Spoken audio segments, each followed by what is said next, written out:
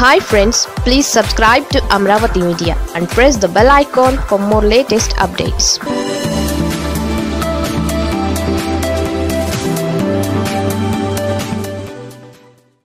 Lokesh మెడకు అమరావతి భూకుంభకోణం ఉచ్చు బిగుసుకుంటోందా?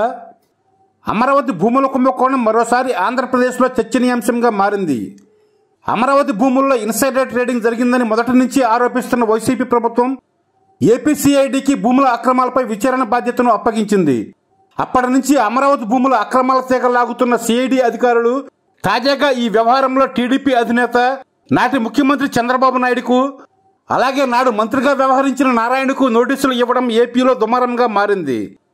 దీంతో చంద్రబాబుతో పాటు లోకేష్ మరికొంతమంది పేర్లు ప్రధానంగా వినిపించిన నేపథ్యంలో రాజధాని భూముల అక్రమాలపై వారి మెడకు కూడా ఉచ్చు బిగుస్తోందా అన్న చర్చ సాగుతోంది.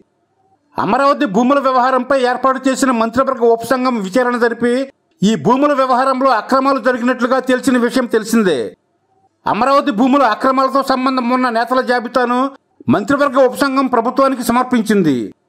మంత్రివర్గ ఉపసంఘం నివేదిక మేరకే సిఐడి కేసులు నమోదు చేసింది.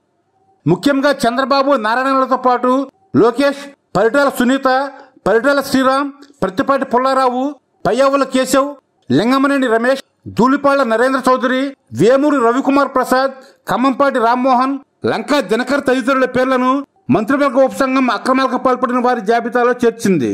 రాజధాని ప్రాంతంలో అక్రమాలకు పాల్పడి టీడీపీ నేతలకు వారి బినామీలకు లబ్ధి చేకూర్చినట్లు ప్రధానంగా వైసీపీ నేతలు తెలుగుదేశం పార్టీ నేతలను టార్గెట్ చేశారు.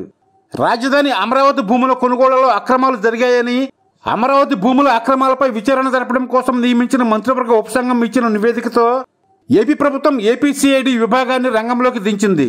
ఈ వ్యవహారంలో ప్రాథమిక విచారణ జరిపిన ఏపీసీఐడి అక్కడి భూముల కొనుగోలు చేసిన కొందరిపై కేసులు నమోదు చేసింది. అప్పటి టీడీపీ ప్రభుత్వంలోని కొందరు పెద్దలతో ఉన్న పరిచయాల వల్ల రాజధాని ఏ ప్రాంతంలో వస్తుందో ముందుగా తెలుసుకొని రాజధాని అధికారిక ప్రకటన రాకముందే ఆ ప్రాంతంలో భూములు కొన్నారని కొందరు టీడీపీకి సన్నిహితంగా ఉన్న వారిపై అభియోగాలు నమోదు చేశారు. దీంతో తమపై నమోదైన ఎఫ్ఐఆర్లను రద్దు చేయాలంటూ కోర్టుకు వెళ్ళడం ఆ తర్వాత కోర్టు సిఐడి అధికారులు చెబుతున్న ఇన్సైడర్ ట్రేడింగ్ జరగలేదని అది ఏపీసీఐడి నమోదు చేసిన సెక్షన్ల కిందకు రాదని కోర్టు కొట్టేసింది. అయినప్పటికీ మరోసారి జగన్ సర్కారు రాజధాని భూముల అక్రమాలను విడిచిపెట్టేది లేదని తేల్చింది. మున్సిపల్ ఎన్నికల్లో ఓటమి నుంచి టీడీపీ ఇంకా కోలుకోకముందే మరోసారి అమరావతి భూకుంభకోణం వ్యవహారాన్ని తెర మీదకు తీసుకొచ్చింది.